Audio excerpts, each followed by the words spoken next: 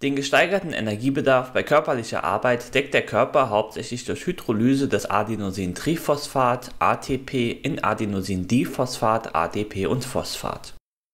Die Endprodukte enthalten weniger freie Energie als die Ausgangssubstanz, die frei gewordene Energie wird bei der körperlichen Arbeit zur Verfügung gestellt. Über eine Resynthese wird ADP wieder zu ATP Adenosintriphosphat ist der einzige direkt anzapfbare Energiespeicher, der in praktisch allen lebenden Zellen, insbesondere in der Muskelzelle, vorhanden ist. Die Spaltung des ATP beliefert die energiebenötigten Reaktionen bei der Muskelkontraktion. Im Sarkomer befinden sich die Eiweiße Aktin und Myosin.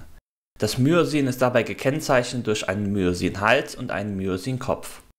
Wird nun ATP gespalten, richtet sich der Myosinkopf auf, dockt an das Aktinfilament an und durch das sofortige Umklappen des Myosinkopfs werden die Filamente ineinander gezogen, der Muskel kontrahiert. Problematisch daran ist, dass der ATP-Vorrat im Muskel relativ gering ist. Er reicht schätzungsweise nur für etwa 3 bis 4 maximale Muskelkontraktionen, was einer Arbeitsdauer von 1 bis 2 Sekunden entspricht. Dementsprechend muss der Körper ATP relativ schnell wieder reproduzieren. Der Wiederaufbau des ATP aus ADP ist auf mehreren Ebenen möglich. Über Kreatinphosphat, über die anaerobe Oxidation und über die aerobe Oxidation. Gemeinsam haben alle Verfahren, dass in der Resynthese ein Phosphatteilchen abgespaltet wird, das an das ADP angehängt werden kann, es entsteht wieder ATP.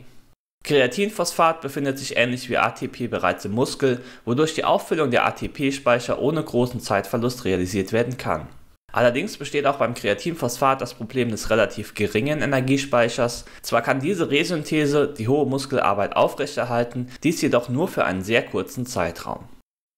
Einen größeren Energiespeicher sowie eine effizientere Energiebereitstellung stellt die aerobe Oxidation dar. Ebenso wie bei der anaeroben Oxidation wird auf die Glykogenspeicher im Körper zurückgegriffen. Der Unterschied beider Oxidationen liegt hauptsächlich im Bedarf an Sauerstoff Sauerstoff wird bei der aeroben Oxidation benötigt, um über einen langen Zeitraum die Resynthese des ATP zu ermöglichen. Sollte die Sauerstoffbereitstellung nicht ausreichen, kann auf die anaerobe Oxidation umgeschaltet werden, dies allerdings auf Kosten der Entstehung von Laktat. Dies führt bei zu hoher Konzentration zu einer rasch einsetzenden peripheren Ermüdung. Hinsichtlich der Resynthese von ATP ergibt sich also folgende Staffelung Resynthese über Kreatinphosphat stellt eine sehr hohe Energierate über einen sehr kurzen Zeitraum.